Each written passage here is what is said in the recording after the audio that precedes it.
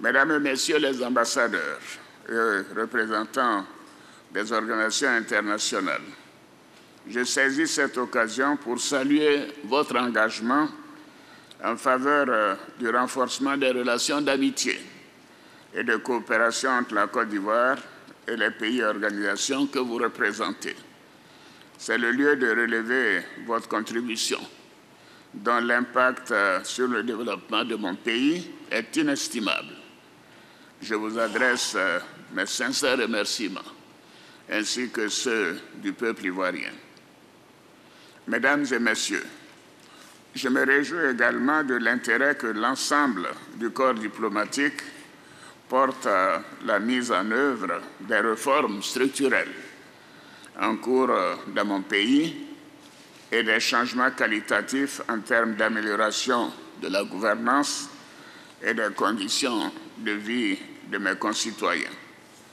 En effet, l'année 2022 a été marquée par la consolidation d'acquis importants enregistrés depuis 2011 en Côte d'Ivoire dans les domaines politiques, économiques, social et sécuritaires.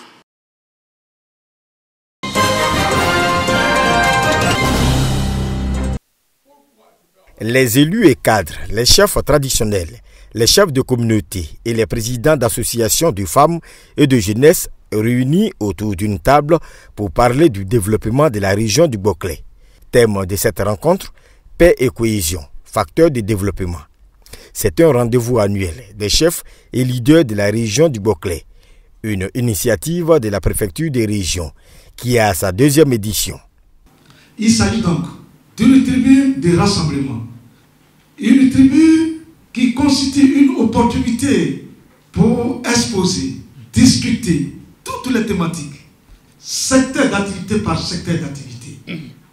Depuis l'avènement du président Alassane Ouattara au pouvoir, la région du Boclé se porte mieux, à l'instar des autres régions du pays.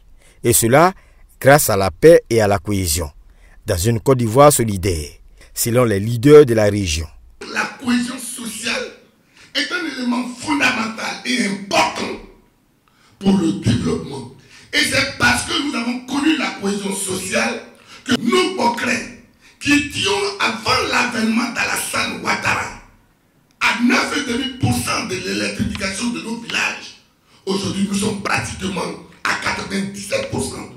Si vous prenez par exemple les résultats que nous avons pu obtenir au niveau de Boclé, le débarcateur, le marché, le château d'eau, les ponts villageois, l'électrification, le bitume, aujourd'hui la grande côtière a des faites, eh bien c'est parce que un travail colossal a été fait ici. Le rendez-vous annuel des chefs et leaders pour le développement du Boclé, c'est aussi un moment de reconnaissance. Des distinctions ont été remises aux acteurs du développement de la région.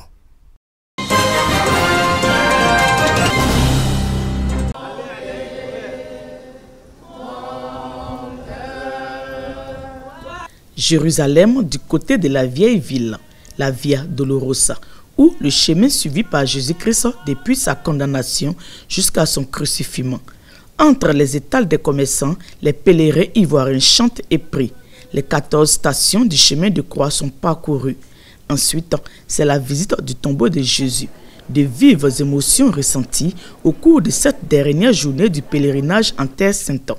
De retour au Bercail, les premières impressions livrées. Ça a été un séjour intense, un séjour spirituel euh, où euh, on a appris beaucoup et on espère pouvoir impacter euh, tous ceux qui sont autour de nous après ce pèlerinage. je ne sais pas quoi dire, c'est une grâce. Franchement, je suis content de retrouver mon pays dans la joie parfaite. Ce qui m'a le plus marqué, c'est le dernier jour. Là, j'ai pleuré le chemin de croix, aller visiter le Saint-Sépulcre, aller visiter Golgotha, où on a vu la croix de Jésus. J'ai encore l'émotion, j'ai encore l'émotion je garderai un meilleur souvenir de ça. Je dis merci euh, à l'État de Côte d'Ivoire, merci à la direction générale des cultes, merci aux organisateurs, merci aux pères encadreurs. Ma foi est renforcée. Je suis témoin de Jésus. Jésus est vivant. Les 82 pèlerins du pèlerinage de la Nativité 2022 en Israël ont été encadrés par quatre prêtres et deux guides. C'est une trentaine de sites bibliques visités en dix jours.